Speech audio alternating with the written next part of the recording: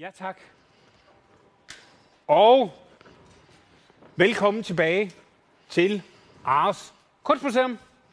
Vi sender stream nummer to, og øh, det gør vi i de fire arrangementer, vi har, der hedder Sammen om Kunsten, som faktisk også hedder Fire Museer tegner live med dig. Jeg hedder Jannik Borsch, jeg er leder af Billedskolen i Horsens, og vi har fået bevillet midler til det her fra Statens Kunstfond. Og med mig i studiet på museet, kunne vi næsten kalde det, mm. har jeg Marianne øh, Grymer. Og så var det efternavn, Marianne, hjælp mig lige. Det, Bakkemann. Det var der, det var Bakkemann, det var sådan, det var.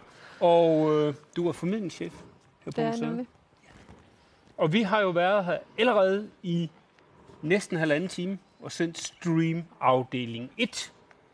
Og øh, vi sidder nu i en udstilling, og det gør vi stadigvæk, og den hedder, Den hedder Human Nature. den hedder Human Nature, og det er en udstilling, der spreder sig over, var det 300 år?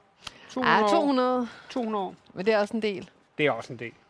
Og jeg kan ikke huske forskel på 2 og 3. Så det er 200 år. Og øh, vi har været i gang med øh, dels at fortælle noget om forskellige værker og kunsthistoriske perioder, og en del om udstillingen Human Nature, eller noget om den i hvert fald. Mm-hmm. Vi skal øh, i stream 2, som vi er i gang med nu, der skal vi jo tegne mere. Og øh, vi har planlagt det sådan, at i Stream 1, som I selvfølgelig kan gå ind og se senere, øh, der har vi lavet sådan nogle små korte øvelser, som man nemlig kan gentage derhjemme, hvis man keder sig, med sine børn eller selv. Og man kan stadigvæk uploade forskellige ting derinde. Og det hele foregår over i den begivenhed, som jeg lige skal scrolle herover. Den hedder nemlig Sammen om kunsten, Tegn Live med Ares, og den finder I altså ved at søge inde på Facebook, så kommer den frem. Og det er herinde, I har været i gang med at uploade dem, der har set Stream 1 og har tegnet, måske i den lille korte pause, vi havde, hvor vi andre fik en god kop kaffe og dejlig kage. Og der er der noget at uploade, og det skal vi se på som det første, inden vi skal i gang med flere tegneøvelser. Så vi går lige ind her, og jeg skal lige huske at opdatere min browser. Det giver lige sådan vidt glimt herinde. Det gør det måske ikke. Det går måske drøn hurtigt i dag, hvis jeg overhovedet kan få lov. Det kan jeg ikke. Spændende. Sådan der, der skete måske noget.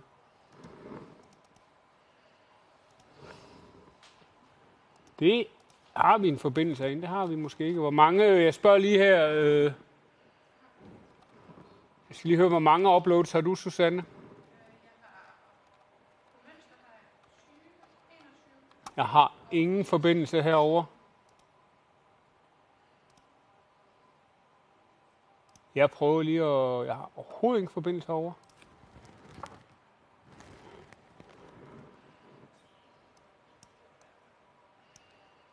Sådan her. Men det, mens jeg lige prøver at ordne det her, Marianne, kunne du lige sige kort, hvad Human Nature er for en udstilling? Ja, Vi det- har sagt det i Stream 1. Vi beklager, vi har lige noget teknik her, der skal til at køre. Det kan jeg i Hvis du hvert lige kan fald. sige lidt af det igen. Det kan du tro. Øh, mens vi øh, glæder os til at se, hvad I har lavet, så kan jeg fortælle, at vi sidder i en samlingspræsentation. Det kalder vi det, fordi vi øh, som et museum jo har en samling af kunst fra øh, de sidste 300 år her på Aros, som I gæster normalt kun ser en lille brøkdel af. Øh, og den vælger vi at præsentere under forskellige overskrifter. Øh, heroppe der er det under nogle hovedtemaer, som er nogle store eksistentielle temaer, som øh, for eksempel religion, samfund, filosofi. Noget, der betyder noget for mennesker, øh, uagtet af, hvor i verden de er, og uagtet af øh, tiden. Øh, vi har også en anden udstilling på museet, der Mhm. faktisk også er en samlingspræsentation, som hedder Far From Home, Mhm. hvor vi prøver også at kigge på vores samling ud fra øh, temaet omkring det at føle sig hjemme. Så det er forskellige måder ligesom at prøve at vise en samling, og også variere det lidt, så afhængig af, hvad der, vi synes er vigtigt i tiden, at vi så kan vise vores samling, så den bliver relevant for vores gæster. Og, øh, Der er også noget- nogle museumschefer, ledere, ved jeg, der siger, det er vores samling, der er basen i Ja. det hele. Det er, øh, det er jo øh, det, der gør os til et museum, at vi har en samling mm-hmm. til at begynde med. Så det, øh, det sætter vi stor pris på. Men, men det er jo interessant det der med, at man bruger jo også arbejdsmæssigt så bruger man rigtig, rigtig meget tid, både med fondsøgning og sådan noget, til de her særudstillinger. Ja, som jo nogle gange ikke er der så lang tid, 3-4 mm-hmm. måneder. De kan så nogle gange være med til at ilte øh, os alle sammen. Selvfølgelig. Og også kaste nogle gange et nyt blik på vores egen samling. Men det er virkelig vigtigt også at huske, at samlingerne på museerne er guld, og de fortjener i den grad også opmærksomhed. Ja. Og det er jo dejligt at sidde heroppe sådan lørdag og se, hvor mange mennesker, der faktisk også går heroppe. Ja, nu kan så vi også lige sidde og tælle folk i dag, når vi så nu folk sidder finder her. heroppe, så det er Ja. jo rigtig dejligt. Og vi sender jo alt det her på Facebook, og man kan gå ind og se det. Og dem, der ser med, ved jo godt, vi sender det. Men altså inde på Facebook, der har vi altså lavet de her to transmissioner. Det her er nummer to af den, hvor vi lige nu skal ind i begivenheden på Facebook, der hedder Sammen om kunsten Tegne Live med Ares. Og jeg skal lige se, om jeg kan opdatere den sidste gang. Det kan jeg godt, og det må gerne sige blip der og blive hvid. Yes. Så går vi simpelthen ind, fordi vi skal først lige ind og kigge på første opgave, der hed, at man oven på øh, Michael Kvirms Think Bigger, altså den her sorte skulptur, vi ser her til højre, der skulle man ud fra tre billeder fra udstillingen Human Nature, der skulle man altså tegne øh, ovenpå. Og der har vi altså 24 kommentarer herinde og 24 billeder, og jeg ved, Susanne, som sidder med herinde, hun har trukket lod. Og øh, lige om lidt, så er der nogen, Uh, der kan være så heldig at vinde den her, hvor der er et katalog for en af jeres udstillinger. Det kommer vi til at sige mange gange, som hedder This is not Africa. Og så er der nogle lækre ting fra Durban, og nogle postkær, og der er alt muligt andet. Det bliver så fantastisk. Og der er et eller andet, der biber. der er et eller andet, der piper. Spændende, hvor det er. Vi kigger lige, hvad det er. Det er ikke her. Det er heller ikke her. Så er Er det det et andet stopur. Jeg har, jeg har en taske fuld af stopur, fordi jeg er mister stopur. Alt går på tid. Det er den, selvom den er slukket. Det er mærkeligt. Den kan stå på 0 og pip. Det er det her dejlige stopur. Sådan. Men herinde, ovenpå Think Bigger, der har folk altså stablet dyr fra udstillingerne. Og hvis vi lige går ind og kigger på den, jeg havde faktisk lige åbnet det hele, sådan her, så kan vi gå ind og se, her Nej. har vi altså Victor Ej. på fire år, der har været i gang, og man, så jeg skal lige rykke det her, kan jeg se. Sådan en skønne tegning. Tusind tak for den, Victor. Og dejligt at se, at man faktisk kan deltage i det her, fra man er fire år gammel. Internettet har ingen alder, Ej, det er hvis man er skønt. med for fire år. Og der er en mere nedenunder, og måske er det Debbie selv, der tegner, ellers er det en mere for søn, og den er altså også Skønt. næsten endnu skønnere. Det kan man ikke sige, men i hvert fald en skøn tegning, og I får lige lov at se den i fuld størrelse her. Og øh, Debbie har også lavet en. Det var så moren nok, og den ser vi simpelthen her. og de er vendt godt, og de væltede lidt nogle af dem, men det er så skønt. Ja, det er nærmest sådan lidt uh, Per Kirkeby, at man sådan kan rotere motiverne rundt. Vi snakkede lidt om det her i forbindelse med, at vi tegnede efter Per Kirkeby, det med at vende motiverne.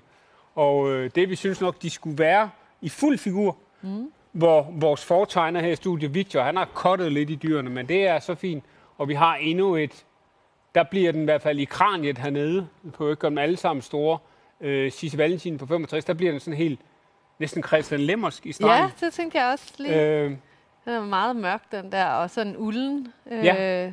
Og vi har ikke så meget tid, så jeg skal også lige sige derhjemme, gå nu ind og kig hinanden, fordi vi kan ikke nå at sige noget om alle tegninger herinde. Det er jo desværre tidens, øh, ikke tand, men tidens begrænsninger.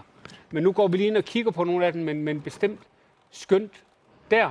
Og øh, Liv har valgt at tage den sådan mere humoristisk an i den her, hvor der både kommer ord og alt muligt på, og bestemt jeg elsker sløjfen på... Er det en abe, der kommer på? Jeg tror, det er en hund. Er det en hund? Ja, det tror Jamen, jeg. den har lidt abe der på Ja. munden. Ja, men det er rigtigt. Det var jo tegn. en hund, vi tager efter. Billedet hænger lige herovre. Hvad tænker jeg dog på? Øh, Men sløjfen er skøn. Og så er der lidt tegneserie over den. Det kan jeg også meget godt Der lide. Det kan vel Sonne også kunne lide. Rigtig meget kiggede på. fortælling indover. Sådan. Og vi har en i farver her, og det er Ida på 8 år. Sådan der. Nej. Det der kranje der. Ja, men den hu, altså dels så er der jo, der er jo gået totalt hornslet i den her forneden, ikke? Og så skal jeg da altså også love for, at den hund der, den er sød. Ja. Øh, tusind tak for den. Og vi kunne blive ved, og det er jo der, man bliver så blød om hjertet, når man ser børnenes tegninger, fordi de er nogle skønne nogen. Og Vibe Storm på 11 har tegnet med, og vi Der er faktisk nogle af børnene, vi har set tegne før, når vi laver tegnefestival tv, og det er helt fantastisk at se, at det er alle alder, der er med. Jeg tror, vi mangler vores deltagere på 62, der plejer at være med. Nå, der er nogle andre. og vi har Bettina. Jeg tror, der stod 44,3 år, men det er ikke. Tak for den her, Bettina. Undskyld, jeg driller. Og du har tegnet æslet her, og hunden, og anden, og vi fortsætter hernede af. Henrik Ludvig på 58, og det er så godt, vi har alle aldersgrupper med. Sådan her, og Lea har lavet en, og der er brugt noget, der næsten ligner kul. Ja, Det er i hvert fald sådan en... den får sådan en religiøs, øh, sådan et glorieagtig... Øh, Det er bare Tone ikke kul. Eiber. Undskyld. Det var den lille, men det køber den lige herover, så I alle sammen ej, kan er se det. fin. Ja, den er faktisk... Kraniet er jo super. Det er lidt lemmersagtigt, det bliver så stort. Ja, men, men øh, skøn tegning, og øh, også ved anden der, hvor man får den der outline. Åh, oh, jeg skal lige køre den lidt ned, kan jeg se. Altså her kan vi se anden, hvor man får den der outline Ja. med. Så, så der øh, kunne man måske sige på æsel, jamen den går sådan lidt mere over i skraveringen det hele. Mm. Hvor der kan man jo se på fuglene for oven, at når man i skraveringen holder pause Så sker der noget. og laver outline, så sker der i hvert fald noget i forhold til æsel. Ja, Her kan det. man så til gengæld sige, at æsel er en fin kontrast til det andet. Præcis. Så det er det her med at få flere forskellige måder at arbejde på. Jeg kan også godt lide, hvordan de hænger sammen og hænger sammen med kraniet. Der er sådan en god Ja. forbindelse. Ja, så der er noget med nogle kompositioner, og sådan noget. Vi har et ur, der biber hele tiden. Det vil, det vil også være med. Og øh, vi har flere hernede af tænder på 53, og vi har Peter på 54, men stadig Ej. Ung indeni. Jeg elsker folks kommentarer. Det er så vigtigt, at vi lige ved det. Og, og så skal vi da også se den, Peter. ja. Ej, hvor er det. Der har vi fået en markertusen frem, og det er en... Øh, jeg kan lige gøre den lidt mindre. Nej, det kan vi ikke få lov til. Men øh, en skøn komposition her også. Der kommer lidt, øh, lidt kylling ind i, den, i enderne. Ej, den er god. Og det vigtigste her, det er jo det her med, at vi gør det sammen. Skal vi jo lige sige til alle sammen derude. Vi gør det her sammen, og det er så hyggeligt, at vi kan dele det her. Vi taler jo tit om, at, at der er ikke sådan fællesskaber på den måde, når vi taler om, om det her visuelle kunst. Men der er jo fællesskaber Der her. er jo så meget fællesskab. Det er der i hvert fald her. Og at se, hvor forskelligt den opgave kan gribes an, er jo i sig selv opløftende. Ja.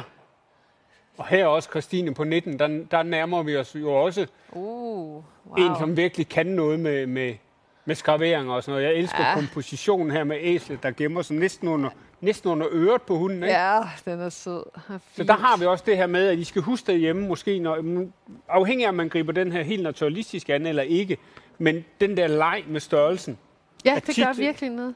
at, at, at det er fint, at ender er lige så store som hunde. Ja. Øh, hvor det glemmer vi nogle gange lidt, det her med, at vi, vi griber det kvæg, vi nok har lavet børnetegninger. Der skal ting jo på en eller anden måde, i hvert fald sådan, når vi leger, vi er gode til børnetegninger, så skal ting jo også have den rigtige størrelse. Og så skal vi jo aflære os det igen for ja. at, at lære det her, og ting går ud over kanten af papiret. Sagde jeg også i første afdeling, at jeg er jo kæmpestor fan af, at der sker noget andet. Og øh, Men det Ja. overrasker mig, hvor, og det overrasker måske ikke dig så meget, men hvor forskelligt man kan gribe det an. Det synes jeg altså virkelig er dejligt at se. Det er helt altså, skønt, og her har vi den næsten, den bliver sådan meget rund Ja. her øverst af, af Toras her til sidst. Vi kan ikke lige nå at gøre den stor. Og så vil vi sige, tusind tak for dem alle sammen. Der var rigtig mange. Jeg kan ikke huske, om det står her for oven, hvor mange der var uploadet. Det stod faktisk der. Der er 24 kommentarer, så der er i hvert fald 12 tegninger derinde. Bliv ved at lægge tegninger op. Det er simpelthen skønt. Og så har jeg fået en seddel her, og så skal jeg sige, at af de her, vi kalder sample-tegninger, der er det Tore Rytter Jørgensen, der har vundet. Og øh, jeg tror, at det nummer 12 i rækken dernede af, eller så må I lige ind og kigge.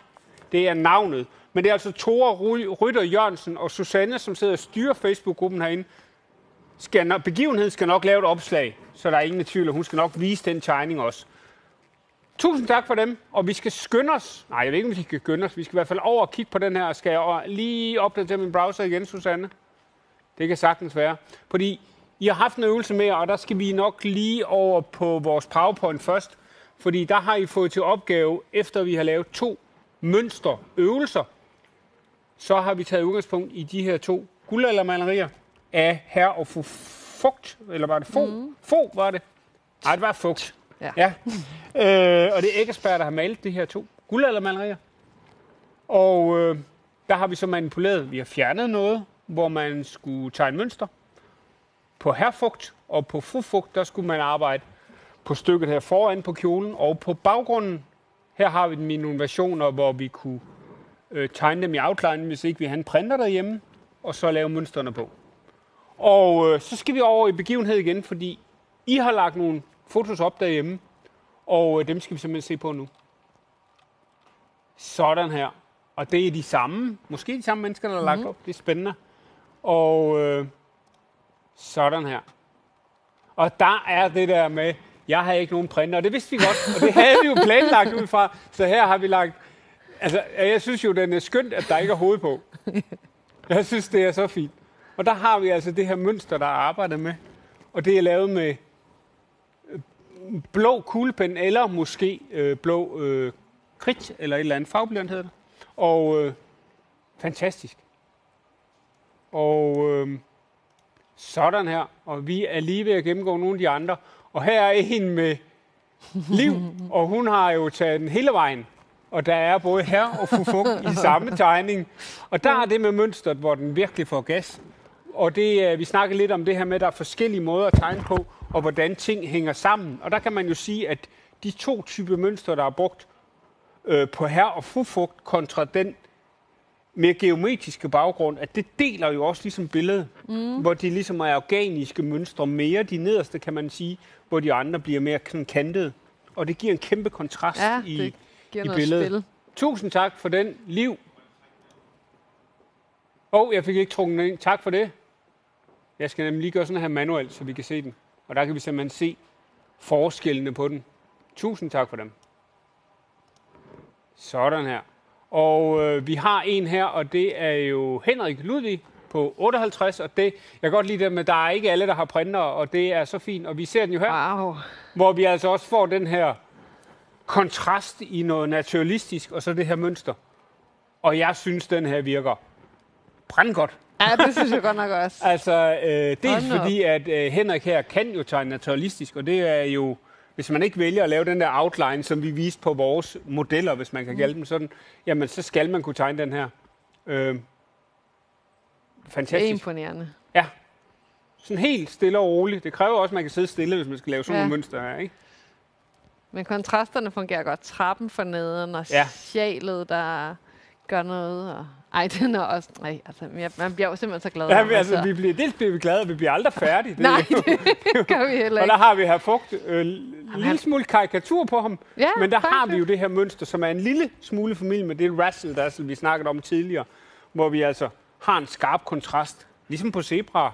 Ja, Ikke? ligesom på Zebra. Så vi har den her, øh, Det bliver enormt moderne. De og så den her helt avisagtige tegning, satire-tegning næsten for oven, ikke?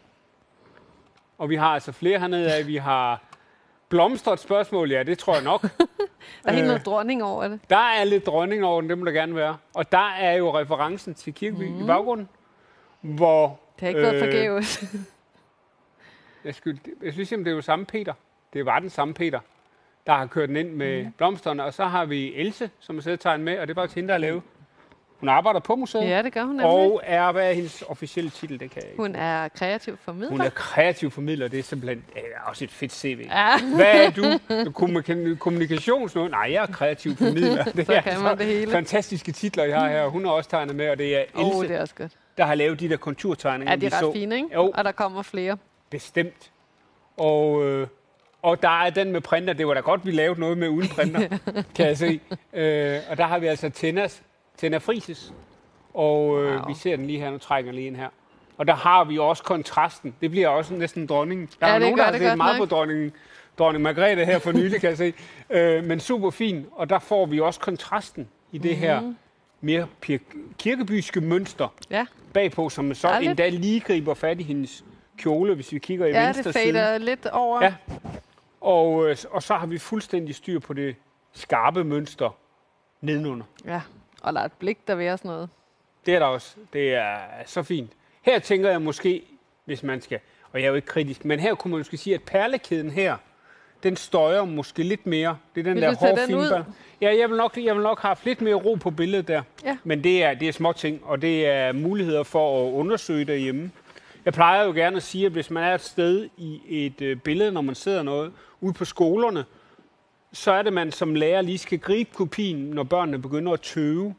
Og så skal man give dem fem kopier, og så skal man sige, du afslutter den lige på fem forskellige måder. Mm. Fordi det, jeg snakker om her med perlekæden, jamen hvis jeg havde fundet den her Tænder, inden perlekæden kom på, så har jeg lige lavet fem kopier, og så sagt, nu skal du lave en, hvor der er perlekæde på, du skal lave en, hvor du gør noget med baggrunden, og sådan nogle ting. Lad det gribe mere ned om, og så sådan ligesom mm. baggrunden kommer frem og sådan ting. Og så kan man lave de der små opgaver, som gør, at man får de der har-oplevelser. Ja, han er god idé. Og kan man sammenligne, Se, hvad der virker. Ja, fordi tit så bliver kunst, at jeg synes, det er kunst, og så bliver det sådan lidt abstrakt, men det der, man kan gøre det Ja, meget konkret i, i løsningen, kan være Det er nogle gange. pædagogisk fif. Det, det er i hvert fald noget, man, man kan overveje. Og vi har jo rigtig mange flere dernede. Vi har også Christine på 19, og jeg har mistet fuldstændig overblikket over, hvad for nogen vi har snakket meget om. Men den her, det er et skønnerbillede. Bliver abstrakt. Jeg kan ikke se, hvem der er her eller fufu, men, men det er abstrakte i det virker. Vi jo. kan se uh, noget kirkeby i det. Det kan vi i hvert fald. Og der kan man jo sige, her virker mønstrene jo super skarpt. Tusind tak for den, Christine. Øh, den holder. Fordi Den det er holder. tit med de her mønstre, vi snakker lidt om, hvornår det er jo for meget. De er her alle sammen, men de fungerer jo super ja. godt. Øh, mørket sidder de rigtige steder. Der er sådan de der tre sorte prikker, der ligger sådan på en halv, halvdiagonal. Og så har vi det mørke i midten forneden, der ligesom holder det fast, men som heldigvis ikke er lukket helt mm. sort. Fordi så kunne det godt blive for tungt dernede. Så, så super godt. Og der kan man sige, at hvis mørket, det helt sorte, ligger rigtigt i sådan et billede her, så gør det ikke noget, at det andet roder lidt mere, fordi det holder det ligesom Ja, fast. holder det i skak. Store elementer i et rum vil jo også få et rum til at, at hvile på en eller anden måde. Og vi har flere tegninger ned Vi har Hugo på 13 år, der har lavet den her. Og det synes jeg er super skønt. Og der har vi altså det her igen, næsten med reference til pop art eller andet. Det ved du mere Ja. om end mig. Men, men der har vi jo den her kontrast imellem det på Fugt og så det her baggrund. Og så kan jeg ikke lade være at tænke på Kviums titel på skulpturen Think Bigger. Ja, der kommer det hele med.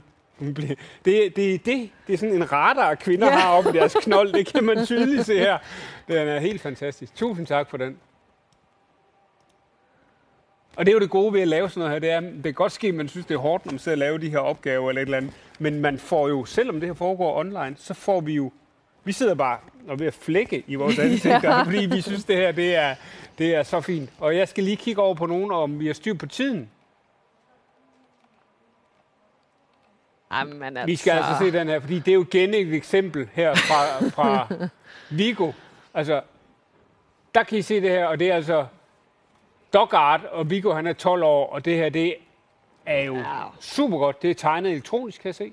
Det er jeg 99 procent sikker på, og det spiller max. Og det, jeg får lige signal derovre fra, at vi skal skifte ud nu. Det tror jeg ikke, det betyder. Jeg tror bare, det betyder, at vi skal skynde os. Vi skal have trukket lod herinde, og øh, vi bladrer, scroller lige de sidste Ej. par tegninger derned. Jeg tror lige, vi får den på igen på Facebook. Jamen, skal vi ikke lave det igen på lørdag? Man bliver da så Vi godt laver det humør. simpelthen hver lørdag fra nu af. Ej. og det, Altså, den ene, mm, altså, og det, vi har jo spændvidden, vi har jo spændvidden netop fra mm. Kirkeby, og så til det helt, helt stramme, Ja. Man bare vil have på en t-shirt. ja, Dem der, dem, ja det er dem, jo øh, Nørgaard på strøget. Jeg tror, I altså. skal lige have ringet en gang her til, til Vibe, øh, Mie eller en anden, og så skal der laves nye muleposer her på museet. Sådan. Vil du have tusind tak for dem her. Og så skal jeg sige til jer, at vi har en lodtrækning mere, og det er en pose mere, vi kører afsted. Og det er Susanne Hermann på 56 år. Jeg er vild med, at, at alderen bliver opgivet. Det, Bada!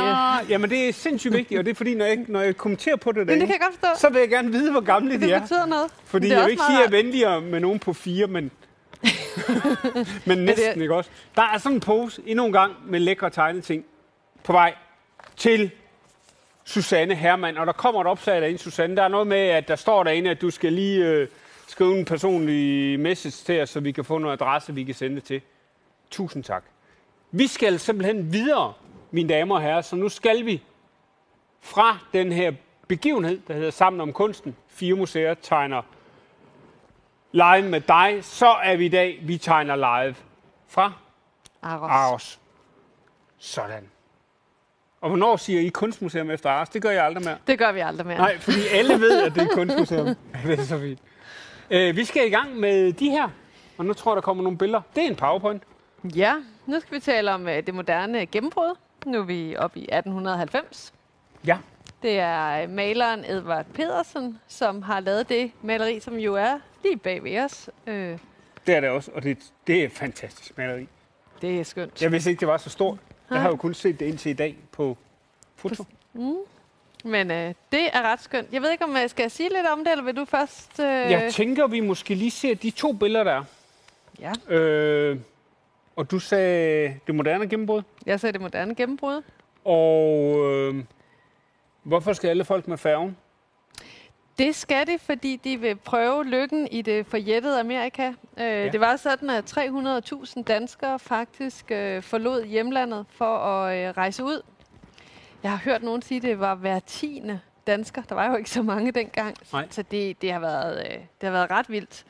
Øh, og man fornemmer jo også lidt uroen, synes jeg, i billedet. Man forlader mm. sit hjemland, alt det kendte, og prøver lykken langt væk. Og dengang må det jo virkelig have føltes som langt væk.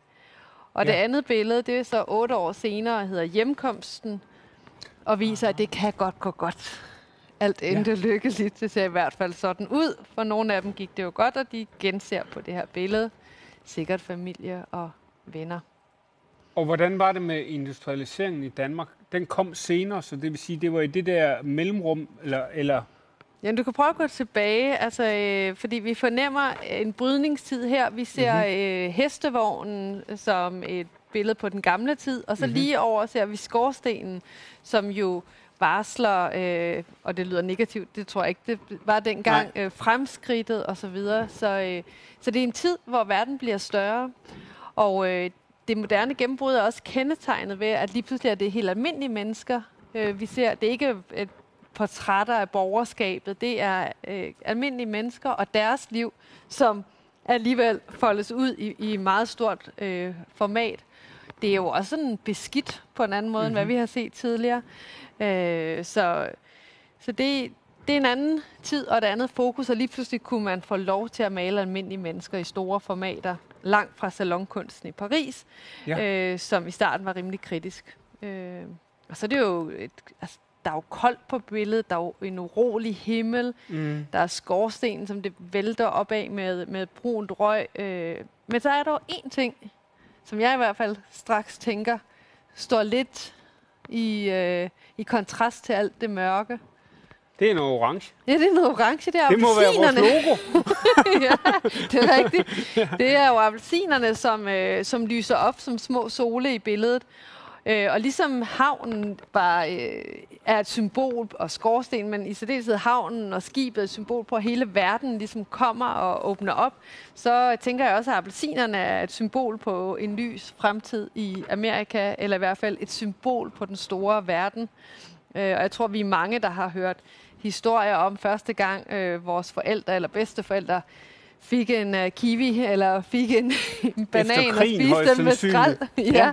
Så, øh, men altså allerede her øh, var der appelsiner i København, fordi det her det foregår på, øh, på øh, Larsens Plads, som øh, i dag er Amaliehaven i København. Og det får du lov at sige noget om lige om lidt. Ja. Fordi nu vil I derude garanteret gerne vide, alle jer, der sidder og ser med på Facebook, I vil gerne have jeres opgave. Og øh, vi skal høre mere om det her. Der er, jeg har 100 spørgsmål, jeg har forberedt til de her billeder, næsten. Så vi har altså, her har vi jo nogle af vores unge fortegnere på Billedskolen i Horsens, som altså har været i gang med postkatusserne oven på det her billede, der hed, var det hjemkomsten? Ja, Ja, og der har vi jo billedet her, og vi har det her, og vi har endnu en af vores unge tegnere på Billedskolen i Horsens, som har lavet den her version. Og der kan vi se, at vi talte lidt før om den der grafiske stramhed, hvor den her virker sådan lidt mere fuldendt, mm. men det er jo altid en balance, hvornår bliver det så perfekt, det bliver kedeligt. ja. Det kan vi hvor snakke den lidt her, om, Den er lidt mere urolig, lidt mere øh, fortællende mm. i historierne. Og, og jeg havde sådan lige prøvet at holde fingrene op for at se, ej, kunne man undvære øh, øh, et af de to dyr, enten øh, fireben for oven, der var det gule firben, eller den blå, kan man undvære en af dem? Jo, men det vil forbedre den grafiske komposition, stramheden i billedet, men den mister også noget fortællende i det. Og det er jo det, I sidder derhjemme og skal arbejde på. Og til den her, så skal I have fundet jeres postkatusser frem, Og hvis I er så heldige, I kan printe et af de to malerier her, så gør I det. Og det er jo ikke sådan, at man skal... Punkt 1. Det er ikke alle mennesker, der har postkartusser derhjemme. Der er mange, der har den, hvor alle har tegnet på sten med postkartusserne, så de har gemt ude i naturen. Alle mulige steder. Mange har i hvert fald. Og ellers så kan man også klare den med almindelige tusser, men så kan man selvfølgelig ikke tegne oven på et print af de her to. Så der skal man altså herover, og så skal man altså ikke bruge al tiden på at lave den her stregtegning. Så tager man lige og tegner det vigtigste fra maleriet, som man har brug for. Så hvis man nu skulle have et monster over i højre siden, der hvor der er nogle lodrette streger, så skal man jo lade være at tegne de lodrette streger. Så hvis man ikke har mulighed for at bruge sin postkartusse, så skal man være lidt mere forudsigende, hvor man tegner. Man kan også fjerne, øh, var det en drosje, vi kaldte den, den type Ja, det hestevogn? tror jeg, vi blev enige om, det hed. Det tror jeg, det, det gætter vi på. Mm. Øh, og så hvis man skulle tegne noget der, så skal man altså lige tænke sin tegning. Det, der er nemt ved de her akryl, det er, at man kan dække og tegne ovenpå, så der har man lidt mere frihed. Men alle kan være med på de her opgaver. Og så er det sådan, at I nu får frem, I har en halv time. Og de har altså en halv time, hvor vores fortegner her i studiet, Victor, han går også i gang, og ham klikker vi over til om lidt. Og øh, så det er altså, I skal finde på historie. Første gang, jeg har set det her med, at man kunne bruge kryl tusser og påsketusser i det hele taget, for jeg, jeg, jeg vidste nok ikke, de fandtes dengang, det var øh, et skænsmaleri, hvor man havde lavet alle fiskerne, der trak både land til nogen, der stod i kø op til en iskiosk. øh, og så var der også placeret nogen, nogen ind imellem, altså der var blendet ind. Men altså det her med at lave dem om og lave sin egen historie, og det kan man jo... Er det 75 år gammel, de skal være? Så må man øh, stort set Ja, bruge 70 billeder år, til alle. tror jeg. 70 år. Mm. Jeg tror ikke, man Fra, fra forfatteren, eller fra øh, kunstneren døde, ikke? Ja. Nå, for, er det for død? Jeg Ja, tror, er det for... Oh, Pas. det skal vi lige have læst op på. Det er også lige meget. Så jeg ved sådan, det ved vi i hvert fald også, der underviser. Inden for undervisning, der må man stort set alt. Uden at spørge. ja. Man må bare ikke gøre det til kommercielt på nogen måde. Men i undersøgelse og læringsøje med, der har man sådan nogle undervisningskopi, et eller andet aftaler, hvor man må stort set alt. Så det skal man huske. Øh, så derhjemme, der kommer ingen efter jer. Nej. Bare gå amok. Øh, så I har også mulighed for at tegne elektronisk. Så hvis I sidder med en iPad derhjemme, så er det endnu nemmere at lave det her i mange forskellige lag. Og øh, jeg synes, I skal sætte i gang. Vi er i gang her på Facebook med Sammen om Kunsten, og vi tegner i dag live fra Aarhus Kunstmuseum. Og jeg har Marianne med, som er formidlingschef her på Aarhus, og vi har siddet her og talt om en hel masse skønne malerier her for udstillingen. Vi vil aldrig hjem. Vi vil aldrig hjem. Nej, det er da faktisk rigtigt, og det er rigtigt. Og vi skal måske tale lidt mere om dem her, fordi vi talte før om det moderne gennembrud. Ja, det gør vi. Og øh, tidligere i dag, så talte vi om guldalder, og vi talte om, der skete noget efterfølgende med impressionisme og alt muligt andet. Men her går vi jo et andet sted hen malermæssigt igen. Og Ja. hvordan hænger det sammen? Fordi det er jo, er det, det er jo ikke Jamen, der sker jo faktisk meget der i, altså nu er vi i 1890, så der ja. Har vi jo egentlig, vi har jo egentlig været ret meget i den periode. Øh, og som jeg sagde før, så begynder man lige pludselig at interessere sig for almindelige mennesker, og udtrykket bliver lidt mere beskidt, lidt mere hverdagsagtigt. Der ligger skrald på vejen, og, øh, og det, øh, det synes jeg bare er ret spændende. Men jeg synes også, man næsten bare på de to billeder, hvor der mm. er otte år imellem, fornemmer, at hvor der på det første var den dros Drosje, tror jeg, vi kalder den. ja. øh, altså hestevognen, som Ja. vi hører den gamle tid til, så otte år efter er den faktisk ikke med. Der mm-hmm. har vi en barnevogn, der signalerer fremtid, og vi har skibet, der fylder øh, væsentligt mere. Så det er jo en periode, hvor man virkelig ser fremad, og et trafikhop og et, en, en tro på fremtiden og en optimisme, øh, som vi også talte om tidligere i dag. Man begynder at male øh, jernbanestationer og fejre industrialiseringen.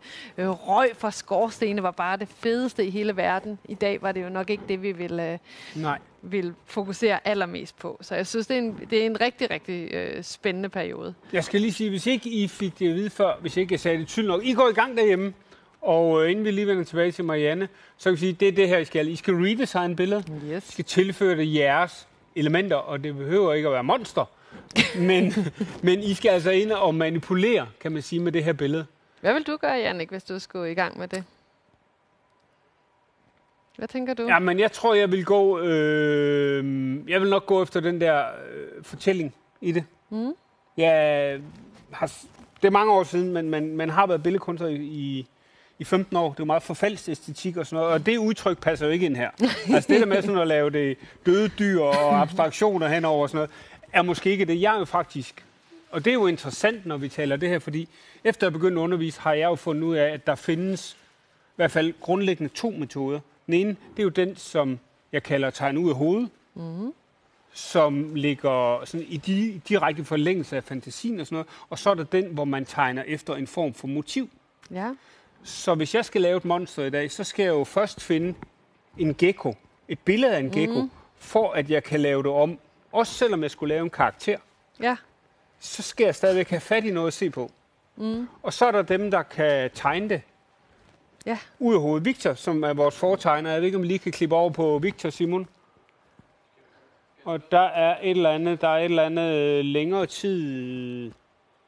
Vi har et eller andet grafik ovenpå. Nej, det er kun på tv'et herovre. Tak. Der kan man se, at Victor, som sidder herovre, øh, jamen Victor, han kan jo tegne øh, ud af hovedet. Det, du har lavet der, Victor, det er jo helt fantastisk. Og så sidder Victor Holst Hansen altså og tegner til daglig. øh, og, øh, og hans grafik, han kan jo tegne ud af hovedet. Jeg kan gøre det samme, men jeg er jo altså afhængig af at have noget at læne mig op af. Ja. Og det er jo fordi, jeg har aldrig lært det andet. Jeg begyndte at tegne meget sent. Begyndte først for 11 øh, øh, omkring de 20 år. Nå ja, det var da Og ret det er jo sent. meget sent. Ja, der er der ikke mange, der Ej, det var hopper sådan på protest. bølgen der. Der var jo nogen, der sagde, at du skulle være arkitekt og sådan noget, og så skulle jeg den anden vej. Og så brænder man sin bror, og så ender man i kunstverden, og det har været super fint dengang. Men altså, Victor, han er jo gået, han er gået på billedskole, siden han var 9 eller 11 eller sådan et eller andet. Ja. Og, og Victor, han er jo født med det her sprog. Det vil sige, at han har altså arbejdet med det her sprog hele vejen igennem. Så han kan begge dele.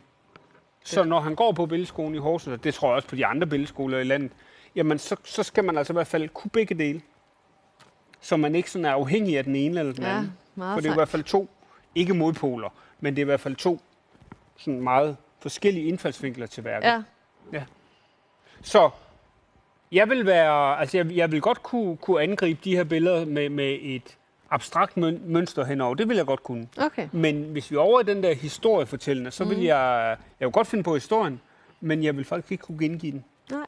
Og det er jo lidt den der med, altså vi har forser, og så er der noget, vi, vi skal arbejde Ja. lidt mere med, ikke? Jeg Hvordan så- vil du angribe mig? Jamen, øh, jeg har jo ikke tegnet, siden jeg var 20. Øh, men jeg, jeg, bliver, jeg bliver grebet af bare historien, altså det der med at rejse væk fra alt, hvad man kender, og ikke vide, hvad fremtiden er. Altså jeg tænker, de skæbner og de historier, det gemmer, det, det fascinerer mig dybt i det her billede, og øh, jeg, jeg lever mig ind i hver en. Ja, og det, det er jo igen, altså det, er jo, det er jo faktisk også den understøtter lidt det, jeg siger, fordi forfaldsæstetikken, jamen det kan godt ske, det måtte ligne en død hare, det vi tegnede med referencer til Josef Beuys eller, Ja. eller John Olsen og hans ådsler og sådan noget. Men det var jo ikke historien, Nej. hvor du låser dig meget hurtigt fast i, jamen jeg kan mærke i maven, hvordan det er at rejse væk. Mm. Det tænkte vi jo ikke på. Det handlede jo om, at der var et ådsler, og vi gengav det i sort og hvid, og hvad er det så for nogle virkemidler, vi har? Og det er jo interessant den med, hvor, hvor, hvor bred kunsten er, fordi der binder man jo fortællingen, Ja, nogle kunstnere gør, ind i det. ja, Så der er jo ligesom sådan, igen, også der er den faglige, altså den faglige, sådan, som, hvordan- virker farverne i forhold til hinanden, og så er der jo den anden faglighed, der hedder, hvordan virker det her på os som mennesker, ja. Ja, præcis. også i en historie. Ja. Og den der gensynsglæde der, der er i midten af det her billede, ikke? helt centralt placeret. Men øh, når de der blæksprutter arme så kommer ind over, så, så ved man ikke, om man alligevel har lyst til at stå der. Jeg synes, det er et godt ting med, med altså, det, det er sådan et maritimt udtryk, der bliver lagt oveni. Ikke? Det er havets fangerarme. Mm. Øh, sådan læser jeg det i hvert fald. Det skulle heller ikke undre mig, om vi har glemt at sige til dem, der tegnede på det nede på billedskolen, hvad de hed, de her billeder. At den ene var, altså det, det kunne jeg i hvert fald Nå, godt. ja. Jeg har i hvert fald glemt at sige, at den ene var udvandrer, og den anden var hjemkomst. Ikke? Øh, øh, så, så der, og jeg er ikke sikker på, at de tegneglade mennesker, vi har nede ved os, de har noget at tænke tanken. Nej. Men der er nogen, der får lidt svært ved at komme væk igen, tænker jeg. Og jeg er vild med ham, den lille dreng, der også har fået en øh, dino-hale. Der er sket noget med, med evolutionen på 10 Men du, år. sag, du sagde noget før, hvis du går tilbage til... Øh, nej, det, ja, Der, det der undskyld, med, sorry. om, om øh, at man rent grafisk kan man godt vinde noget ved at for eksempel tage, tage firebenet væk. Mhm. Men jeg synes også nogle gange, det der gør nogle kunstværker særlig interessante, det er, når de har et eller andet element, som egentlig øh, strider lidt, eller har en åbning, som gør lidt ondt. Altså et eller andet, der, der niver, et eller andet, der, der ja. gør noget. Øh, og når jeg går på kunstmuseum, så jeg, altså, min, dem, der kender mig godt, synes jeg er virkelig irriterende at gå på kunstmuseum med, for jeg går ret hurtigt, og jeg er jo ret fagskadet, så jeg går og tjekker lys og tjekker skilte og har lidt travlt. Men jeg ved også, at på et eller andet tidspunkt, når jeg går igennem udstillingen, så er der et værk, der ligesom spænder ben for mig, der hiver ud efter mig. Og jeg kunne godt tænke mig, jeg tror mange vil få nogle øhm, bedre kunstoplevelser og museumsbesøg ved at ture, ligesom at sige, jeg behøver ikke se det hele, jeg behøver ikke Nej. slavisk at bevæge mig igennem de her sale, for det kan være enormt trættende. Så i stedet for det der med bare sådan at scanne, indtil der er et eller andet, der ved der er noget. Øh, og det kan godt nogle gange være den lille detalje, som måske rent kompositorisk får det til at kendre. Men det kan godt være lige der, at der er en Jeg eller tror, I anden skal have særlig sådan noget energi. med nogle... Øh, vi snakkede før om, at man kunne finde en ukendt ven og gå ind Ja. og se nogle billeder med. Men det kan også være sådan noget med, med en terning, og så skal man øh, tælle øh, 12 billeder frem, Ja. og så skal man kigge på det billede i 5 minutter, fordi det er jo ikke... Jeg har jo ikke valgt de her billeder. Nej. Og øh, jeg skal love for, at jeg bliver beriget på en helt anden måde. Det gjorde jeg også, da vi snakkede. Vi var nede på, på Horsens Kunstmuseum mm. i tirsdags, hvor vi så på Lilbet, som er en øh, street art kunstner fra New York. Nej, ikke Lilbet. Det er hun ikke. Øh, Phoebe New York, undskyld. øh, Phoebe New York, som, som jeg har jo set de her Instagram-opslag. Hun, de har ikke udstillet hende nu på Horsens Kunstmuseum. Men det der med at komme ind i dem på en Ja. anden måde, det er jo lidt det samme med dem her. Jeg har ikke valgt billederne. Ja. Og nogle gange er det en gave, vi ikke selv kan bestemme, fordi vi kan bestemme så meget af vores liv i dag, Ja. og vi kan selv i sætte alting. Så det der med bare at blive tvunget som et sundt og godt benspænd ind i noget andet. Ja, og også det med at se langsomt. Vi har jo en eye tracker, det ved jeg ikke, om du ved, nede på niveau 3, Mm-hmm. hvor man sætter sig foran et værk, og mm. så kigger man i 10 sekunder. Og det er jo lang tid at se på kunst, fordi vi ved, at folk i gennemsnit kun ser på kunst i 3 sekunder. Mm. Øh, endda ofte mindre, når de går igennem en sal. Ja. Så det med at få folk til at sidde i 10 sekunder og kigge, og så bagefter får man at vide, hvordan man så, og hvordan det, man så, afviget fra, hvordan andre så. Og det gør jo, at du også lidt får en samtalepartner der, lidt ligesom vi har hinanden nu. Ja.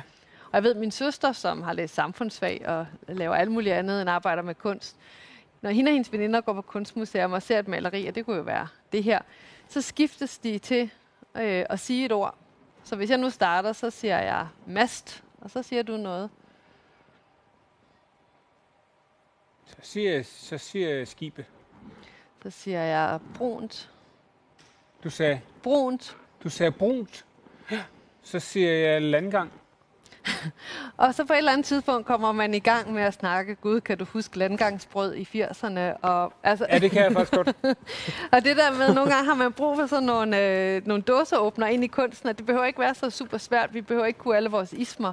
Men bare det, vi åbner øjnene og bruger tid sammen, det er jo tit rigtig meget værd. Og der vil jeg sige med landgangsbrød, når de nu bliver moderne igen nu her, så prøv lige at droppe det der med at gå fra leverpostejen til pålægchokoladen. Der den kunne har man, altid der skulle kunne man den godt anden finde ende. noget, der passer lidt bedre sammen smagsmæssigt. Fordi jeg synes, også der er vokset op på landgangsbrød, jeg synes, det var en hård kontrast. Og der er plads til forbedring der. Og I ser, der sidder en herinde også, der kan huske det. Så der må vi altså godt lige øh, få, den, få den skiftet lidt ud. Det er ikke den lille Øh, detalje, der lige Og gør det kunne noget. også være, efter vi har fået øh, øh, nyt nordisk og sådan noget. Jeg tror, landgangsbrød, det bliver noget helt andet nu. Ja, det tror jeg også.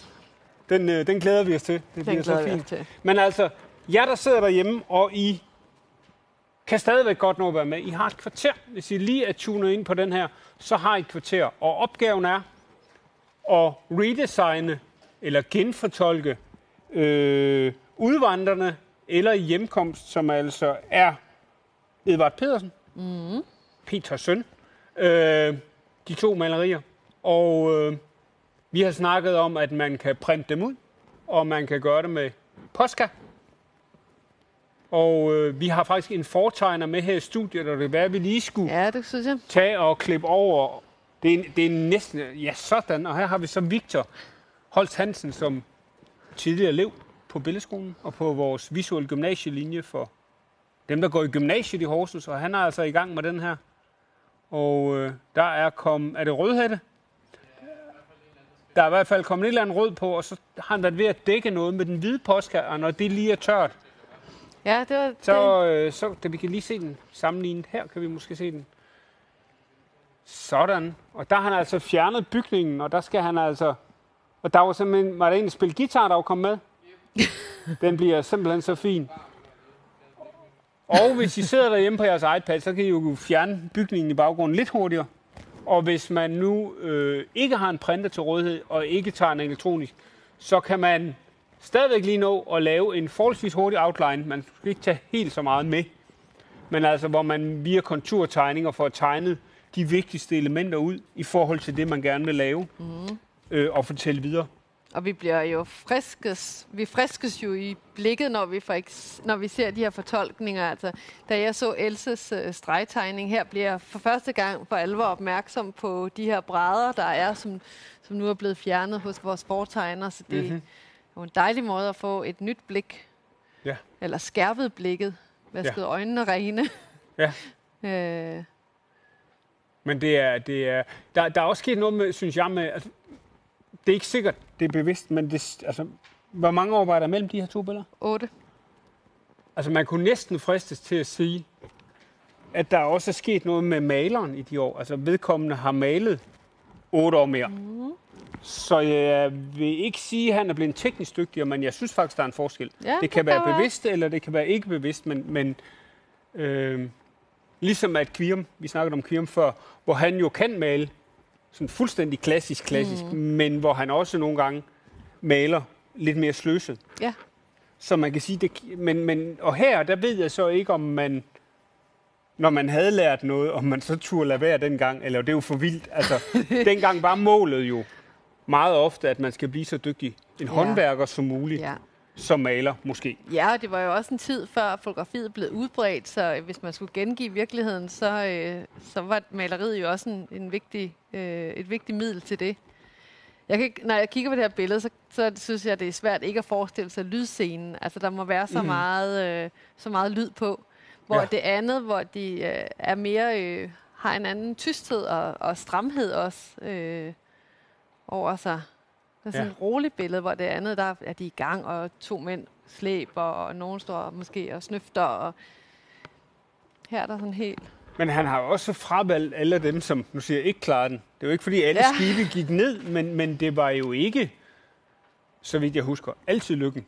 Ej, Og kom midt ud på prærien, ikke? og så havde man to brædder og et søm, og så skulle man bygge Det et hjem, og man skulle føde også gro noget jord, og, og hvad, hvad, hvad ellers skulle leve af på det tidspunkt. Ja. Så det har jo, men vi, som du selv sagde før, vi kender jo næsten alle sammen i vores familier nogen, som tog afsted. Ja, En eller anden farbror eller en onkel langt tilbage i familien, eller et eller andet. Lige Og nogen præcis. klarede det godt, og, og, og nogen kom hjem igen. Og nogen tog jo også afsted senere. Altså, nogen tog øh, til Kanada, fordi de var bange for kommunisterne i Mhm. 50'erne og 40'erne. Øh, der er jo mange... Det er jo ikke første gang. Så jeg synes, hele det her med immigranter, der tager afsted ud og... Altså, det, det, det er et spændende tema. Øh, Jeg synes, det her maleri, der kommer jeg er jo sådan en, var øh, en filmnørd, så, så panserkrydseren Potemkin, en gammel russisk propagandafilm, øh, de der damer, der står fuldstændig samme frisyrer og påklædning, ved jeg, der er med i filmen, hvor de står og vinker til de her øh, kommunister, der har gjort oprør og besejret det her skib, når de sejler ind øh, Ja, i det det. havnen. Ikke? det minder også lidt om filmscenen. Det kunne godt være et stille fra Det en kunne film. godt være Ja, stille det er for den film. Det, Det det er, godt. der, der, der er ikke så meget den her, men, Nej. men den anden, den har noget af det. Det her, det var jo også en bestillingsopgave, eller det var sådan en konkurrence, hvor man øh, bød kunstnere Begge og malte det motiv. Jeg, jeg ved ikke med det sidste, men Nej, i hvert fald med det den her. første. Øh, så, Og der skulle, hvem, hvem, best, hvem bestilte sådan noget åh, dengang? det kan jeg så ikke helt huske. Men øh, det vandt i hvert fald en eller anden pris, så øh, jeg ved faktisk ikke, hvem der Men bestilte. skulle man, øh, altså, Jannik, jeg, jeg, jeg ved ikke mere. nej, men, ja, men det var godt ske, du vidste noget om, om det var, altså, skulle det handle om det her tema? Ja, det skulle det er jo det, jeg Det var det. Jeg skal nok være spørge om det, det har vi aftalt. det skulle handle om det her tema. Det siger jo også noget om, at man selvfølgelig fik man lyst til at gengive noget, som havde så store konsekvenser for, hvad var det, vi mente hver tiende dansker. Mm. Øh, så selvfølgelig skulle det gengives. Plus ja. interessen for den store hvide verden. Ja. Og de der appelsiner, altså, de gør virkelig... Øh, de kunne jo godt være, være sådan noget, øh, man havde malet på med postkartus i dag. Ja, Altså, de, de er så friske. Også, Jamen, altså, jamen også fordi, at hvis- det her var første, første skib, der sejlede, hvor kommer appelsinerne så fra? De kan selvfølgelig komme fra Spanien, Ja, ikke? Men, men, men, men altså forstå Ja. sådan, at, at det er første gang, jeg har set appelsiner fra ja. den tid. Udover måske nogle stille leben eller et eller andet, hvor man...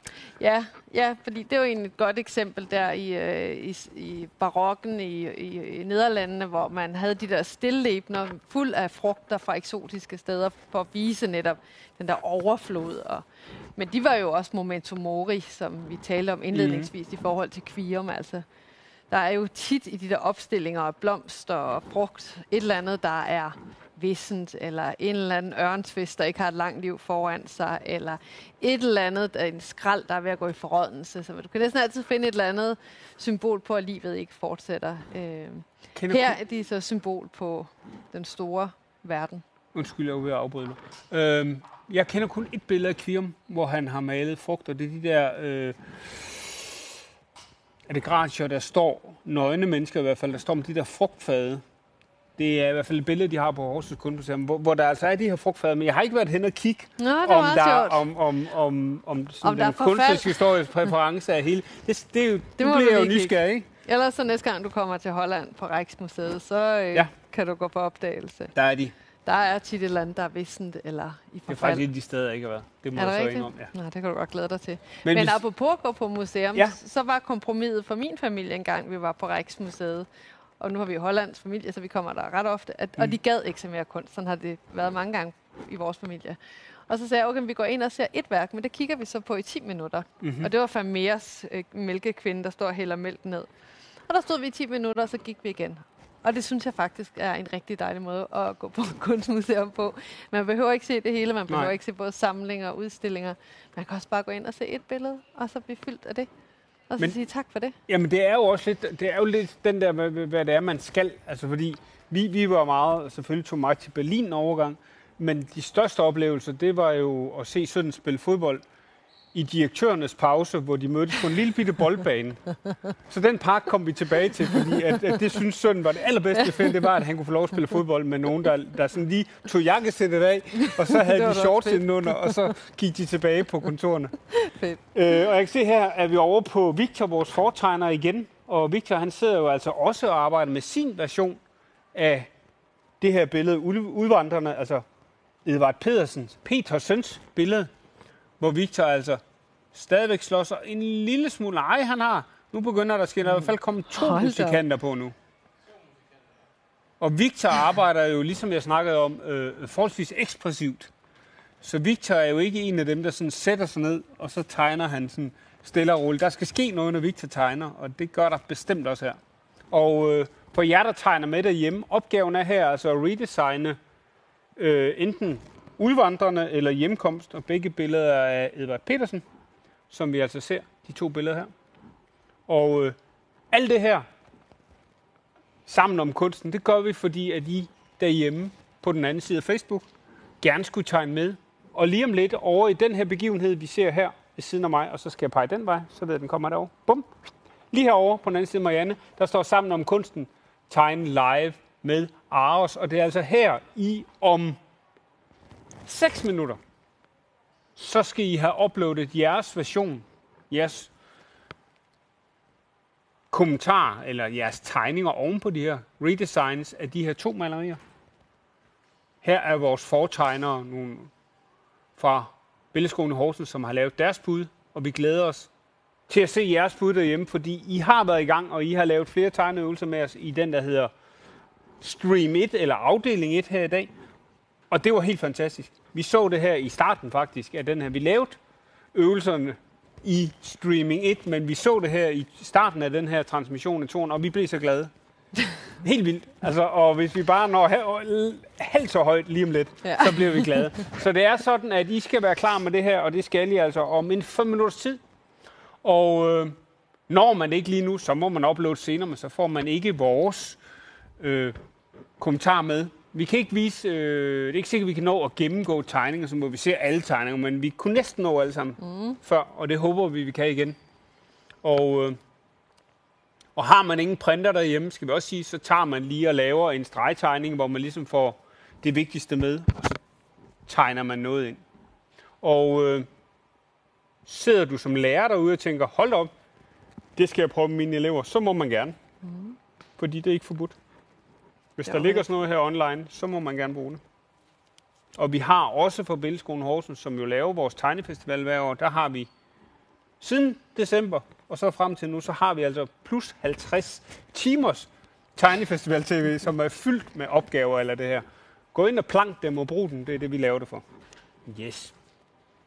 Hvor lang tid, hvis man nu øh, rigtig gerne vil ind og se den her udstilling, der her Human Nature på Ars, hvor lang tid fortsætter den? Ved vi det? Ja, men den fortsætter i hvert fald et stykke tid nu. Den har allerede været oppe i et par år. Øh, og øh, samlingsudstillinger er der tit i lang tid, for der er ikke udlåner. Det er jo vores egen ting. Mhm. Mm-hmm. Så øh, et års tid nu. Ja. Øh, så når man alligevel er herinde, eller øh, det kunne også være en anledning i sig selv til at komme herind. Ja. Den Der er jo altid en anledning. Altså, der er jeg, jo altid en anledning. nu fik vi jo kage i pausen, så hvis man ikke er til kunst, så øh, kom for kagens skyld. og så, øh, hvis det er sådan, man tænker, man har betalt for entréen, så tag Mariannes øh, version med og lige gå op og se et enkelt billede. Ja. Ja. Og så er det selvfølgelig nemmere, hvis man er medlem, fordi så øh, kan man komme så meget, man vil. Og tage en ven med. Selvfølgelig skal være medlem. så det, Men det jeg skal synes, det man. der, hvis jeg lige skal runde lidt af med udstillingen, det jeg synes, der er ret fint, for eksempel det rum, vi sidder i nu, der handler om samfund og fællesskaber, Mhm. mm-hmm. den, det viser jo, det kan vores øh, seere ikke se, men øh, det viser kunst fra mange forskellige perioder. Og det synes jeg er det, der udmærker denne her udstilling, for man kan jo tit lave udstillinger, der sådan kronologisk øh, viser en udvikling igennem årene, og lidt som vi har talt om i dag, men i virkeligheden er det jo tit endnu sjovere at se et tema belyst øh, ud fra forskellige udtryk og, og kunstnere. Så når vi sidder her og kigger rundt, så er der jo både fotografi og skulptur og, og maleri og maleri fra forskellige perioder. Øh, og vi kan kigge ind i næste afdeling, hvor der igen er noget helt andet, og noget af det er faktisk før øh, kronologisk, altså før øh, de her værker. Sådan. Det synes jeg er skønt. Ja. Øh, Men det er også, altså, som vi sagde før, altså det her med, at altså benspænd, og det er jo derfor, vi jo bruger benspænd, når vi når jeg gerne, når jeg underviser, altså mm. uanset om det er tegning eller hvad, altså det er jo benspænd, der gør, at vi ser verden fra nogle andre vinkler. det er den nemlig. Altså den der med at sige, hvad vil du lave mm. i det kan, billedkunst? det kan altså, man næsten ikke. det er fint, men det bliver også det bliver bare sådan lidt fluffy. Ja. Øhm, jeg er jo så gammel, som jeg kan huske sidste bølge af performance, at nu, kom, nu har der lige været et, en mindre tsunami af performance, og den er Ja. der stadigvæk. Der er skyllet henover os, Ja. ikke også? Hvor, hvor det også... Når jeg og... Altså, så, så der, der sker også en udvikling, men nogle gange er der også bare nogle nye nogen, der leger med det. Ja, Så, så det er sådan en også i- balance, ikke? også i ring nogle gange, ja. Vi snakkede om Bjørn Nørgaard, ikke? Som, som jo i den grad også har lavet performance Ja, og tidligere. nogle rigtig gode, nogle af dem. Der snakker vi om X-skolen og sådan noget. Ja. Ja. Inden her ved siden af, der er det udforskning, der er temaet, og det begrænser sig jo heller ikke til at være guldalderen, selvom der er mange billeder, som vi også så tidligere Mhm. fra Italien og rejse på den måde, men nogen udforsker jo også indad til, og det sker jo altid. Øh, Det er en del af det at være menneske og undersøge verden. Fantastisk. Vi skal, I skal have uploadet nu, fordi om mindre end et minut, så går vi i gang ind i begivenheden her ved siden af mig, og jeg skal stadigvæk pege den vej over forbi. Så, kom, padung, så kommer den sammen om kunsten ind i den begivenhed. Der skal I uploade jeres tegninger. Jeg tror måske, jeg lige skal ind omkring min browser igen. Og, øh, nu vil den ikke igen. Der går, det er fantastisk. Vi ser, om der Den kommer hul falder igennem. lidt i søvn. Jamen, den bliver lidt træt. Hvad gjorde vi sidst, Simon? det, sidste gang, der kom vores, øh, vores produktionsteam over og troede min øh, Mac, og så ville den godt. Ej, og imens kan vi se, hvad der sker herovre. Wow. Og, skal jeg så, og vi troede, Victor ikke kunne nå det. Det kunne han godt, og Victor er vores fortegner, som vi har med i dag. Wow.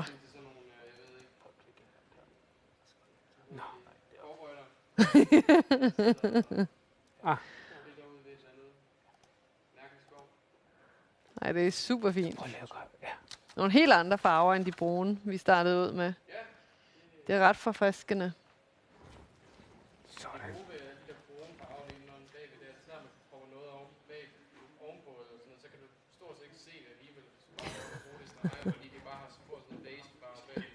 Hvor godt.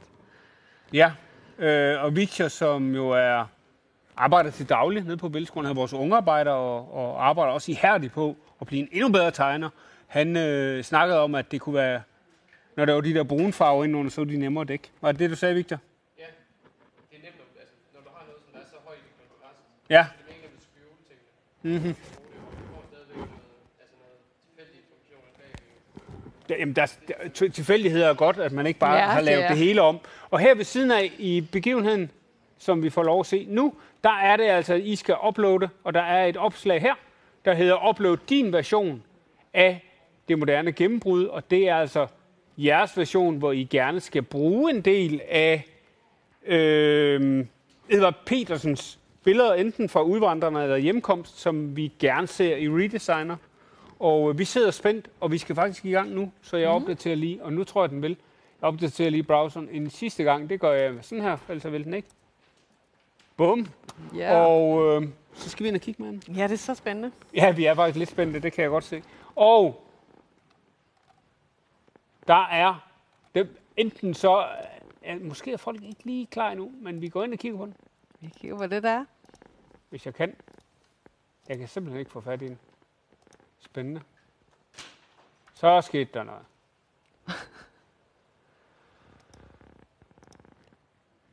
Jeg spørger en lille smule herinde. Har du en mere, du har tegnet på, Victor? Jeg tror lige, jeg skal have... Prøv lige at gøre noget herover igen.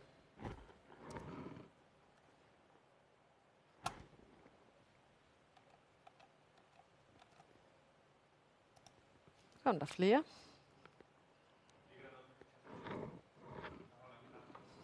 Ligger der noget på dit tastatur, Janne? Mm. Ja, så skete det. Det, de, det, det kan jeg jo sige, det, det der lige har drillet os lidt nu her, det er de her tunge præmier, som har dækket et tastatur lidt, så det slider lidt. Men nu skal vi altså ind og kigge på, nu skal vi altså ind og kigge på det, I har tegnet, vi glæder os så meget. Vi har altså hele 11 kommentarer lige nu derinde, så nu skal vi altså ind og kigge, at Chenna har lavet den her. Flower power. Så er der Flower Power, og det er jo øh, hjemkomsten. Ja, så der er så fest der er, i København. Det er, og jeg skal lige gøre sådan her, så vi kan se det helt. Sådan her. Tusind tak for den. Rent tegneteknisk, øh, Tænder, du tegner jo super godt, men man kunne godt have nogle flader, der er jo lidt større. Mm. Altså her bliver det, blomsterne har næsten samme størrelse, så man kunne få lidt mere, jeg vil ikke sige ro i billedet, men man ville sådan opleve det lidt mere roligt, hvis man gjorde nogle af blomsterne større. Mm. Øhm, det tror jeg vil virke bedre, end at man begynder at arbejde med det her grønne på blomsterne og gøre det tykkere nogle steder. Så tror jeg måske, at man bare vil gøre nogle af blomsterne større, fordi det der med en rolig flade ligesom giver et centerpunkt, som, som giver lidt ro til billedet. Ja.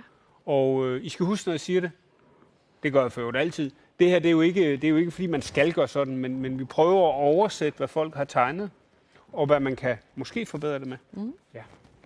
Tusind tak for den her tænder, og øh, vi kaster os lige ned på den næste her, og det er, Der er Tintin landet. det er, og der er vi, øh, og vi har i hvert fald set på Peters, det kan, for jeg kan kende tegnestilen, det er jo den, vi kaldte bladtegner. Ja. Øh, og så skal jeg lige have den rykket over, det er fuldstændig rigtigt, og der har vi den her. Hvor vi altså har, nu skal jeg lige se, det er udrejsen, og der er det en rigtig god idé at have en raket med. ja. Jeg ved ikke, Klart. hvorfor vi får... Øh, vi drømmer stadigvæk om at komme til Mars. Jeg ved ikke, hvad vi skal derop, men, men det, er, det er jo et fint billede på, at, at vi har drømme stadigvæk. Ja. Som, Og udlængsel. og Ikke mindst udlængsel, i disse og tider. Især i de her tider. Sådan. Og vi har flere herinde. Vi har liv. Øh, når man hverken har printer eller påske, så æder monsteret stregtegningen. Ah, det tak for den. og der er de så. Der sidder de her nede i hjørnet. Der er tegning ved at blive et. Øh, Sådan kan det gå. sådan kan det gå. Tusind tak for den. Og, ja, og der tror jeg bare, vi kigger dem igennem, Marianne, mm. og så tror jeg, vi lige øh, opdaterer browseren til sidst, om der er kommet nogle flere. Og Camilla, Nej, den er også sjov. og den er super god. Og igen kunne man måske sige lidt det der med at gøre nogle af tingene lidt Ja. større. Den der Øh. hånd fungerer jo rigtig godt. Eller det røde der, fordi Ja. den netop er lidt større. Farverne synes jeg også er, er altså, det, det er lækkert. Den røde og, mm. og fungerer super godt, og det er også dejligt, der er lige, lidt, det giver lidt ro med det hvide nogle steder også. Det Øh. gule deroppe er jeg også lidt nysgerrig på, når den for alvor sp- spreder sig ud, ja. eller vågner op, eller hvad det er for noget. Og den, der løber op her af, af tovværket, mm. det er der rigningen, det hedder det ikke. Hvad hedder sådan noget? Pas. Fisk. Det der oppe af masten her, der er en, der løber stærkt. Den, den går ikke langsomt op, den der, det er jeg sikker på. Det er. Og der har vi lidt af det her, vi snakkede om med, at det giver lidt ro med nogle lidt større flader på, og nogle større genstande. Ja. Hvor vi altså har Victor 12 års. og øh, jeg er ligeglad, men hvor det skib sejler hen, jeg vil med.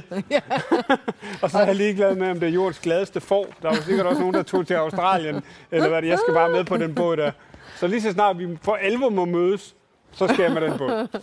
Og så er der appelsiner til alle. Og så er der appelsiner til alle, fordi dem kan vi ikke få nok af. Selvom det er monstrene, der kommer med den. Det betyder absolut ingenting. Og jeg er vild med, at hesten er blevet til en ko. Ja. En lille detalje, men øh, Jamen, det, der, Det er det er, jo fint. et, et super eksempel på de der hemmelige historier, vi ja. snakkede om. At, ah, behøver du det? Det er jo nok med de andre, men, men det er, er super skønt og, og helt fantastisk. Tusind tak for den, Viggo. Og der er øh, Lea på 35, der simpelthen har, hold det op. har samlet noget, og det er udklip. Måske. Ja. Er det ikke udklip? Det må det være. Måske der lidt er i hvert fald printet tirsdags. et eller andet. Og det er altså øh, super god collage, og der er også tegnet påsketing på, Ej, tror jeg. Det. Øhm, Ej, den, er- den holder max. den holder max. Det er sådan en, man har lyst til at printe i rigtig stor Ja. og sætte op et sted. Øh, Og på en eller anden måde også bare taler helt ind i nutiden. Øh, meget. immigration, flytninger, øh, et Kina, hvis det er kinesiske tegn, der forandrer mm-hmm. sig dramatisk. Øh, Ja, jeg kan faktisk ikke se, om der er lagt et lag ind øverst med lamperne. Jeg kan ikke se, om det er... Altså, er det vejbaner oppefra, eller er det bare lys i, i et hus bagved? Om der er lagt ikke. et plan mere ind, men, men det bliver sådan lidt abstrakt oppe i det øverste Ja. lys. Men, men, øh, og jeg blev helt stille, da Marianne sagde noget sådan om tider og sådan noget, fordi sådan tænker jeg, jeg kigger kun på kompositioner, og der er vi farveidioter på hver vores måde, kan man sige. Øh, men tusind tak for den her, Leana. Og tak, fordi I tegner med derude. ja. Det er noget, jeg har lært lakserytteren. Han holder mig i skole nogle gange. Han siger, tusind tak til jer. Fordi uden jer, ingen spas. Og øh, det er sådan noget, vi glemmer, vi sidder bare og snakker. Men det skal vi huske. Men det er fuldstændig rigtigt. Og vi har Vibe, Mie, undskyld, har vi også her, som også giver fuld gas. Og øh, den får med regnbuer, og den får med fuglehuse, som og jeg skal lige, jeg har den herovre det rigtige sted. Sådan. Jeg synes, fremtiden tegner lys. Ja. Tusind tak for den. Og et billede for samvirke, som jeg ejer ikke en printer. Nå, jeg til at sige, hun har da ikke tegnet på den, men det er jo sådan ind under. Tak for den, Tore. Og lygtepælen går igen. Sådan. Jamen, jeg kan godt forstå det der, og vi kunne også godt lave en øvelse, der hed øh, Find noget i et blad. ja, det er meget fint. Øh, vi, havde, vi havde faktisk øvelsen tirsdags, hvor vi var i tvivl om folk overhovedet har blade derhjemme. Så Nå, vi var nødt ja. til at forberede folk på, at de faktisk skulle have noget klar, de kunne klippe i. Øh, men tusind tak for den her, og, og, og lygtepælen er helt 100. Tusind tak for den. Og det er jo sådan, at lige om lidt, så trækker vi løjet igen. Ja, det er Og det er spændende. noget, Susanne klarer, men vi skal lige kigge herned, fordi Lea har jo lagt... Der er lagt en seddel til mig. Det er så fint. Det er bare mig, der ikke kan to ting, fordi det kan man ikke. Nej, den, den kan her. jeg faktisk også rigtig godt lide. Og den er mega abstrakt. Og jeg skal lige over og kigge originalen. Mega abstrakt. Jeg elsker det der, hvordan det hvide påske ja. heroppe, og det er Lea på 35, griber ned i mandens jakke. Ja, det Det synes jeg faktisk er, er sådan øh, super fint. meget moderne. Det bliver meget moderne, og der er faktisk et monster. Jeg kan se, der, nu er det sådan, vi heldigvis har fundet ud af, at vi kan gøre sådan her. Og der kan vi se, så kommer monsteret frem herinde, eller hvad det nu er. Der er måske en mund Kæmpe her. fisk. Ja. En pelsfisk. Ja, en pelsfisk. Det, og det er en joke, det er fordi, vi til DM i tegning i mange år har tegnet frysende pelsfisk. øh, og det er altså, kniber det med opgaver, så skal man bare tegne frysende pelsfisk. Den kan man altid bruge. Øh, så tusind tak for den Men det her. kunne, øh, jeg kan huske i tirsdag, så så jeg også på nogen, der kunne ligne en illustrationer til nogle af de bedste børnebøger. Den der kunne også, der er noget ja. meget, øh, meget stærkt over den, synes jeg. Øh, Den kan noget. Så Leanna, giv den gas derude. Og øh, så tror jeg lige til sidst, at vi opdaterer browseren lige en sidste gang, og så kan vi se, om den vil. Og det vil den nu, for nu har vi fjernet alt det tunge på tastaturet. Det kan jeg, jeg kan sige, det er et godt tips derhjemme. Fjern ting, der vejer mere end øh, 4 kilo, øh, skal I fjerne fra tastaturet, fordi så spiller det hele meget, meget bedre. Og øh, det er simpelthen så godt. Og 11-19 kommentarer, så er der måske kommet et par stykker mere. Jeg skal lige se, om jeg havde fået en lodtrækningsseddel et eller andet sted her. Uh! Så har jeg en hemmelighed. Øh, men vi skal lige kigge de sidste, hvis der er et par stykker, vi ikke får se på. Og vi kigger dem lige igen, og det her det er jo sådan næsten sådan et langsomt gengivelse. Man får lige lov at se detaljerne en gang til. Og hold op, hvor er de fantastisk. Og der Ja, var i hvert fald et par stykker mere. Sådan. Wow. Appelsin og cirkus. Verdens frugter. Ej, det der cirkus der, det kan jeg godt lide. Taget Ja. og flagene. Yes. Og så kommer det til at minde om den plads i København øh, med fartstriberne. Hvad hedder den? det den røde er plads. Nørrebro, ikke? Jo, Røde, røde plads på. Nørrebro. Mm. Ja. Så et nutidigt præg. Fantastisk. Tusind tak for den. Og det er Sus, der har lavet den. Og vi har flere. Vi har endnu en Samvirke. sam. Der er noget med samvirke. uh, Susanne har samvirke betalt for deres sponsorat. der er noget, vi lige skal have snakket med folk om. Det er altså en helt ny måde at lave markedsføring. Det er altså, at de At sidder poppe op. og deltager i alt. Alle tighte konkurrencer, det er de bare bestemt. Og øh, æd grønt, Jamen, så er vi Sådan. øh, tilbage ved herre og fru Fogt. nemlig. Eller Fogt. Det er så fantastisk. Det var nogle skønne idealer dengang. Det var det. Ej, og der er Og også, den er vendt rigtigt hernede. Tusind tak for den. Mia, det kan også noget. jeg set de ansigter hernede. der, kan man godt, der kan man godt, når man kommer til at kigge på sit barn, der kan man godt blive... kan man ikke se den? Kom. Ja. Uh, skal, nu er den ikke helt tydelig, men der er lige noget her i midten. Der skal ikke meget til for at ændre udtrykket radikalt. det skal der ikke. Sådan, og jeg skal lige herover, så skal vi lige se, om der var, der var lige en mere. Og øh, Nå. der er jo kommet en lille smule regnbuen fra Ars hen over det lys der. Ja, det er det faktisk. Det er først, jeg tænker på, det må der være herfra. Øh, og igen, hvor simpelt det kan gøres med spøgelset der i forgrunden, mm. Som jo bare er der, Ja, der er uden helt at være der. Men det er faktisk lidt overraskende, hvor meget den der deling med lyset gør Ja. ved, ved kompositionen. fungerer faktisk rigtig godt. Og så er det, jeg skal gøre sådan her, og så er det, jeg skal gøre sådan her, og så skal jeg sige til jer derude, tusind tak for de her uploads, og de uploads, der var i Stream 1. Og så med en præmie. Og øh, Viggo, WF, Lignel, du har vundet alt det, der er i en af de her poser. Er det det samme i dem alle sammen? Jeg kigger lige over på Susanne. Nå. Ikke helt, som man... Det kan være, man vinder sådan nogen. Og ellers så vinder man noget andet noget. Og så i hvert fald Ars, de, jeg ved, de, der er sådan en lækker med kork. Agtig. Nej, det er rigtig kork. Notesbog. Mm, skal man altid bruge. Det gør de store kunstnere. Det gjorde de i hvert fald. Jamen, den er helt... Og der er noget lækker, og der er noget øh, keyhanger også. Heroppe fra Ars og sådan noget. Tusind tak. Jeg vil øh, på vegne af det her projekt, og så tror jeg lige, vi skal gøre sådan noget her. Så vil jeg på vegne af Sammen om Kunsten, fire museer, tegner live med dig. Marianne, tusind tak, fordi I på Ars endnu en gang vil lege med Billedskolen i Horsens. Vi elsker at komme til vores naboer. ja. Jeg er lige i Skanderborg i midten, men ellers, tusind tak, fordi I må komme her. Jamen, tusind tak, fordi vi måtte være med. Det har været en fornøjelse. Det har været en fornøjelse- at tale med dig Lige og høre om museet og jeres udstillinger. Og det har været en kæmpe fornøjelse. Også for mig, og det må også godt være lidt for mig, når det er lørdag. Det var en fornøjelse at se de her billeder i et helt nyt lys. Fordi det er jo det, vi forhåbentlig gør, når vi bruger ordet sammen om det her. Om vi har tegnet, eller vi bare har lyttet i dag, så har det været helt fantastisk at være sammen om det her.